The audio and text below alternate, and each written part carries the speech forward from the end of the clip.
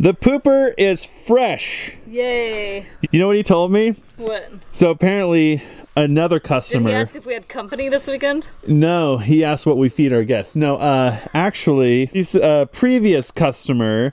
Apparently, we're throwing entire rolls of toilet paper in the toilet, which is like a problem because they can't pump them, Yeah, right? that doesn't shock me at all. So today he's like, man, it's not not pumping, and he like looks in there. There's a bunch of rocks in there. Really? So apparently throwing rocks. I said, you know, that just brings to my mind. I'll bet you find some really interesting things in toilets. And he said, oh, you bet. He said, I found some really nice phones. I'm like thinking, do I want this smartphone? Exactly. Nah, toss it. I bet he finds. Said he finds safety glasses. Oh, Never yeah. has found any money. And I was thinking, gosh, that's a real hard decision about whether you want that 20 bucks or not. Do we get to work on the house today? Yes. We've actually spent the past probably hour or two looking over our plans. All in all, I think we're doing pretty well. It's going good. We found a couple panels that weren't the right measurements, but basically our garage panels are too long as we've shared, and our insulated header is too long, so we've just kind of been working through that stuff. Plus some other stuff. We'll share all that stuff later, not now. Coming up. You can tell that I already need to go put my sun shirt and sun hat on. Yep. But in the interest of getting this show on the road, I'm going to come out here in my t-shirt. So the goal today is to get these panels ready to rock. Get our headers in and then we're ready for garage doors. The problem with today's plan is that we have to use some new tools and stuff and we've got to work with new materials and build some things we've never built before. So seemingly it's a fairly small task, kind of like a project we did the other day that was like, this is gonna take all day, and then it took two hours, and we're like, mm-hmm. well, that wasn't bad. It could go either way, I think. Normally, two hours turns into a full day project. Yeah. Originally, in our SIP plans, we had SIP panels that ran from uh, across the top here that create the opening for our garage door. We've got an 8 foot door here and a 16 foot door here. The problem with that is that the garage door hardware, which is this monstrous spring that helps make the door light so that you can lift it and an opener can open it, it creates a lot of torque. And the panel running across here really not the best for that application. So at the last minute, everyone said, wait a second, that won't work. So we ended up improvising and we're going to build an insulated header that's going to bridge between these two that's super rigid and should handle the torque from the garage door a lot better. These huge pieces of plywood are called LVL or laminated veneer lumber, I think. We actually use these to frame the stair opening in the house. You might recognize this material. What's really cool is you can buy it by the linear foot. So we bought some that I think were 26 feet and we cut them down to 9 and 17 and they are stupid rigid. And then we bought this sheet foam, which should create a thermal break to help retain some insulating properties in the garage. Even though the point of SIPs is primarily to get rid of the thermal bridge that happens in a stud wall without sheet foam insulation, of course, there's a lot of other benefits. It feels like on our south wall that we have just a ridiculous amount of lumber. And we do because we have so many openings between the garage door, the French doors, and of course the huge windows that are going in the gable. There's really not that much SIP on the south wall. It's mostly doors and windows. So to accommodate and create some structural rigidity there, the engineer has specified tons of lumber. That's good news. The SIP company had specified lumber through the whole entire house. And when I looked at the original plans, I said, what's the difference between this and a stud framed wall? Nothing. So why would I pay all that money for your product with no additional benefits? The engineer, though, that we're working with removed all that lumber. And we went back to the splines that we've been using up until now. Anyway, so we have a lot of lumber to add to the wall with these insulated headers. Everything will be nice and strong. Hopefully it works good.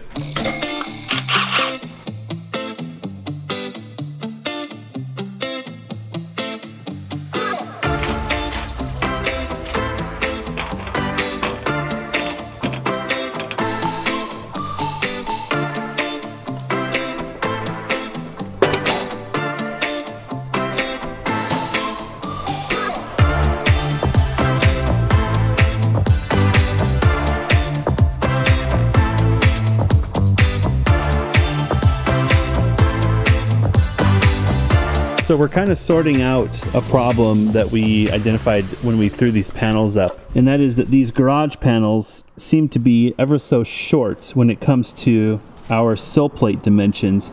So we're kind of measuring our sill plates to see if it was our mistake or something's not the way it should be. If that's level, then our shoe definitely fits.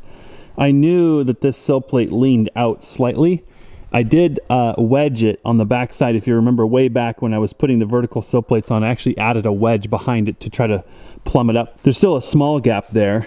Um, that, that's all okay. Everything's okay there. The issue that we have is down here. And what we could do there is just add lumber to take up this dimension here, assuming that our garage door opening is actually correct.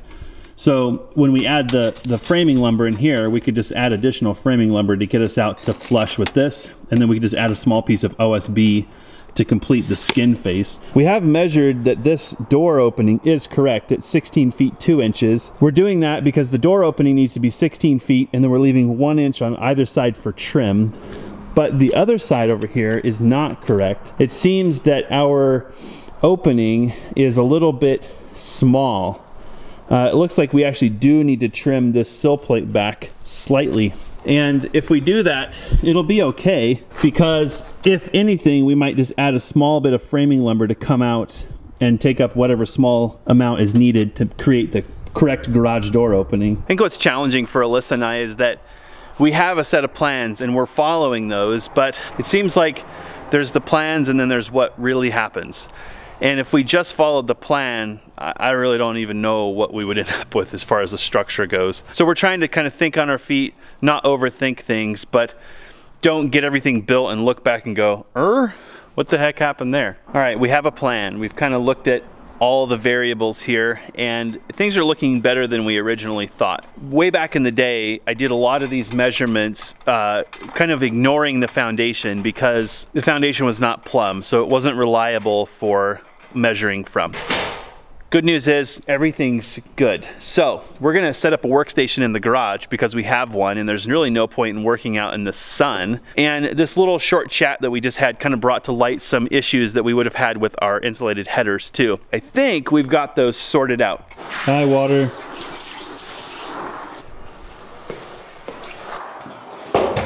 Behind curtain A, power tools, our newest and perhaps the most awkward tool I've ever purchased, hot knife. So I think what makes this probably the most awkward tool I've ever purchased is I got it from a branding iron place. Like cattle? Yeah, like cattle. That's really weird. Like, look at the L and H branding irons. So the name of this branding iron is Scoop. I was gonna say, if you guys see anybody, cows or otherwise, running around with this brand on them, they belong to us. Oh, so you run it along like that. So this is a depth gauge. Oh, that's pretty sweet. Which you put on here. Oh, cool. And you set this depth with your depth gauge like this. Wow. And then you hot knife and remove the foam. That looks friggin' sweet. I have a hunch it's gonna stink like foam in here. I think the good and the bad thing about a tool like this is that it's a very specialized tool. So it does what it does very, very well, but otherwise it's basically useless. Makes a very terrible screwdriver. So you order these specific to the size of SIP that you need. Oh. So guess what we don't have? One for the roof. Oh God. Because this is an eight inch. But in theory, we won't need one, in theory. I hope we don't, and if we do, we'll figure it out. I'll just make a wider one of these. Well, totally, yeah, you just run it back and forth a couple yeah, times. Yeah, we'll just have to figure it out. But so if you were gonna do a six inch, eight inch, and a 12 inch SIP in the same house, you'd need three of these things. So I guess if you're gonna buy one, buy the six inch, and then just make a wider guide or something so you can, you get the idea.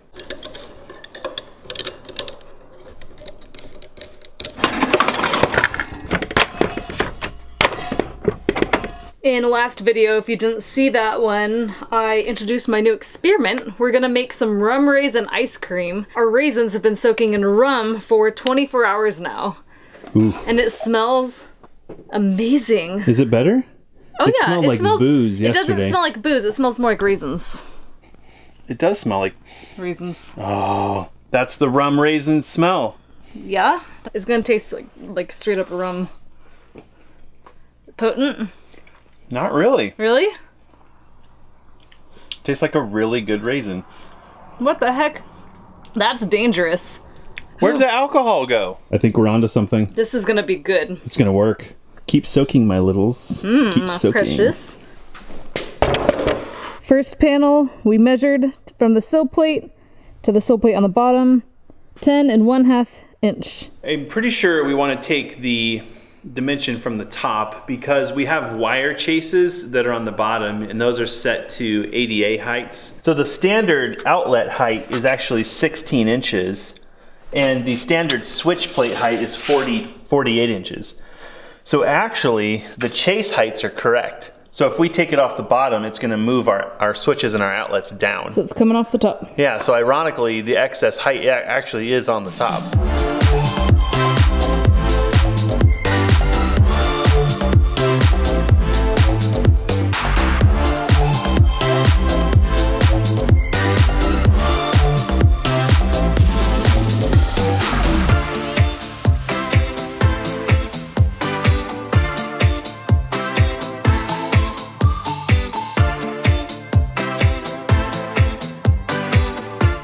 It's on. It's on. Oh, wait. Oh, that would hurt so bad to have on your skin. Oh my Whoa! gosh, That's golly. freaking sweet. Whoa, that's oh, so cool. Smells terrible. Wow. Oh, that does smell bad. It's still like sizzling and popping. Is it hot? Nope. Whoa. Like butter. Are you just test fitting? Yeah, look at that. Wow. Right on the money. The smell lingers, doesn't it? Oh, oh are you good with the cord? Smells amazing. Wow, that looks so perfect. Bazango. Good. It's good.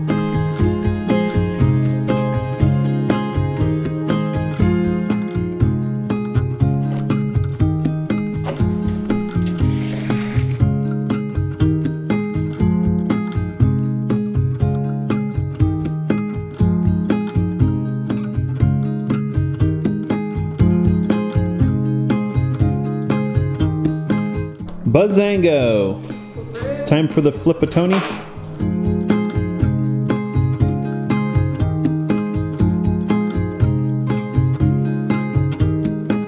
You know, this makes me miss I can't even imagine what you're about to say. hot glue guns. Oh, Uh, didn't you do arts and crafts as a kid?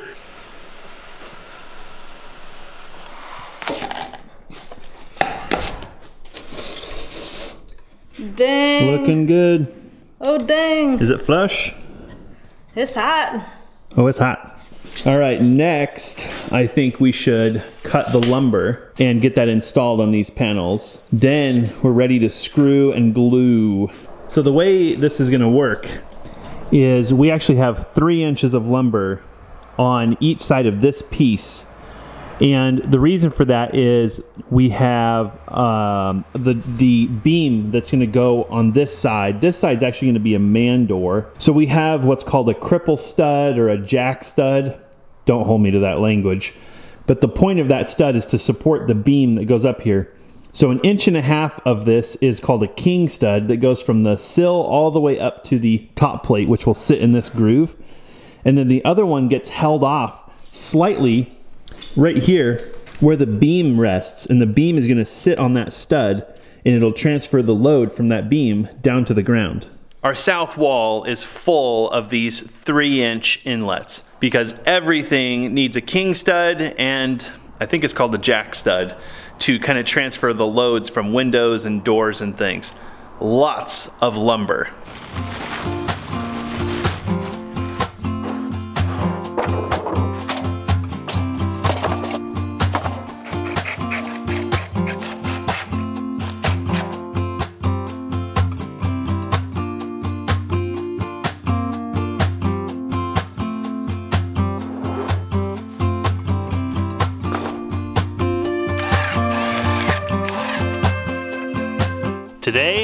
Our power tools are powered by the sun.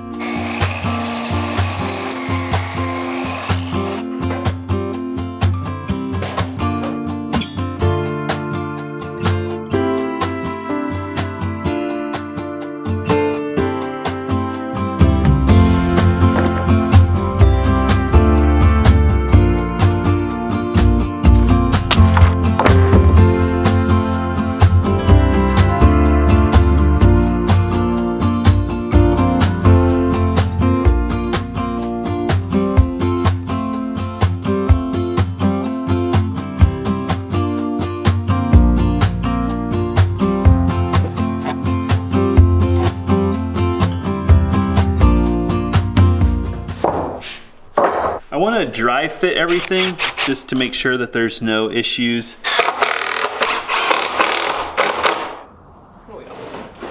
Money? Bazinga. Probably a little tight.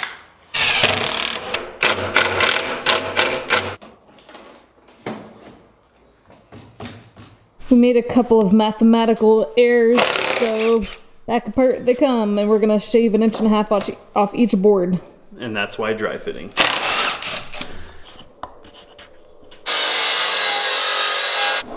Now she should be perfect. Third time's a charm.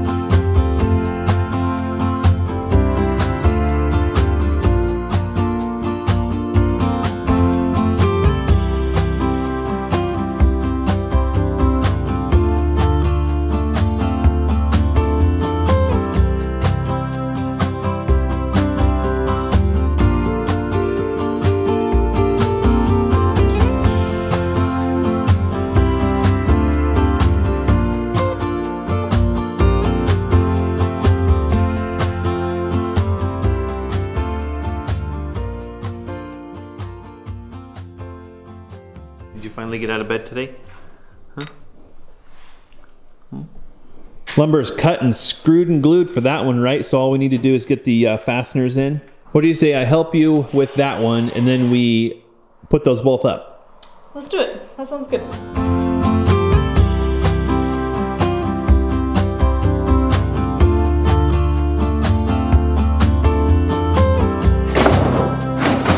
So some of the lumber that we made is a little fat. This piece looks like it's probably about an inch and five eighths. And so the inlet for this lumber actually looks like it needs to be three and a quarter. And I'll bet it's probably closer to three. So when I put the lumber in here, it's sticking up over the edge of the sip, which we don't want. Time for the hot knife.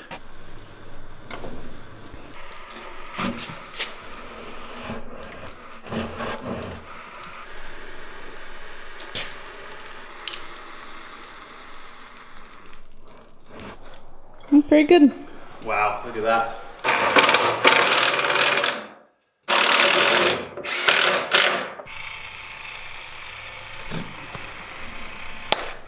God dang, really?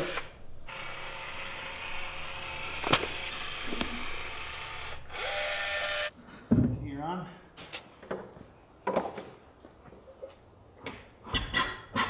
How's it looking? Pretty close. That's really plumb right there.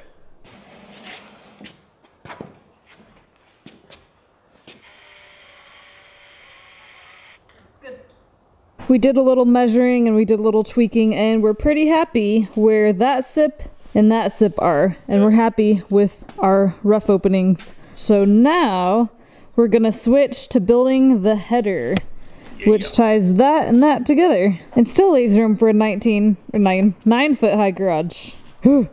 We got a 19 foot high garage? No, 9, 9. Nine, nine, nine! I'm gonna help Jesse rip down some LVL and then I'm gonna cook us some dinner so that we can keep working.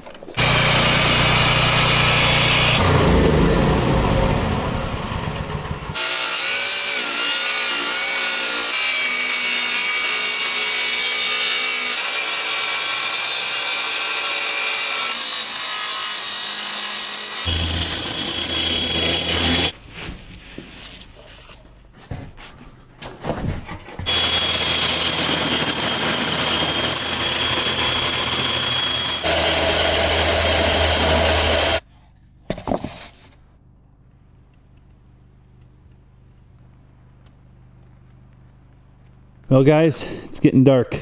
So I've been hammering away the materials for this insulated header and I think it's time to do kind of a dry fit and see if the thickness and everything is going to work out the way we think it will. Warm board. Check. Wait, warm board? What? All right, if my math is correct, two LVLs, one two inch foam, one one inch foam, and one piece of warm board should get us to seven and an eighth inches.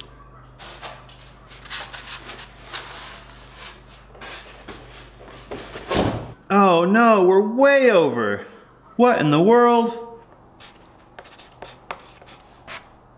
Well, gosh darn it, it sure is seven and three quarter. Man, my math today is terrible. Normally, I'm faster than a calculator. Today, I am worthless for math. Two plus two is like 17. Dinner is served. What are we having? Chicken parmesan for like the 10th time in a row. Because it's easy, good, and healthy. Wow, check that baby out. Would you like to join me? Yeah, I got it figured out. We're good. Sweet. Hey, what are we doing out here, monkey? Huh? Oh yeah. He's running around inspecticating again. A little turd. Mm. Second time on camera today. Oh yeah, he's busy. Are you in there? There you are. I totally knew you were gonna come out that hole. Bugaboo. You're home. Thank you for a yummy dinner. You're welcome. So I think Alyssa is gonna bounce and work on some video editing. Does that sound nice? Shower? Yes, and you will join me probably in half an hour, Ish. something like that. Something like that. I had a lot of aspirations for today, but I feel like it's good for us to go a little bit slower. This is a new phase to the SIPs. Even though we have a set of plans to work from, it is by no means an IKEA house. There's a lot of kind of looking at how the structure is actually built, comparing it to the plans, and seeing what we can work with, what the materials are, and really taking your time to make sure you're making those cuts correctly. Today feels like it went really slow. I know we've been busy all day. We put in over 12 hours today um, between the, the house and other things. So it's been a long day. The heat definitely is affecting us already. Like we whine and snivel about the rain, but the sun definitely has a way of affecting us. But working in the garage was a nice break. So my goal tonight I'm just gonna try to get this LVL ripped down to the same dimension as the other one. And then we'll pick up where we left off tomorrow. I wanted to push tonight to get this beam up, but it's already dark outside and we have to lift it with the backhoe. So there's no point in pushing that hard. I think we'll get these last few things done here tonight and then we'll start on this beam first thing in the morning and that'll feel really, really good.